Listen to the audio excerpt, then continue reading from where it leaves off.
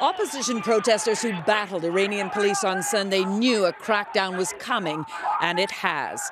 Less than 48 hours after the deadly riots, hundreds of leading opposition figures have been arrested, including the sister of Nobel Prize winner Shirin Ebadi and a brother in law of opposition leader Mir Hossein Mousavi.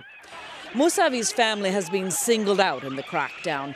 His nephew was among those killed on Sunday. Witnesses say he was shot in the chest. Today, as Mousavi paid a condolence visit to the family, the Iranian government was once again blaming the violence on meddling from the U.S. and Britain. State television has broadcast pictures of a huge pro government rally, the crowd calling for opposition protesters to be executed.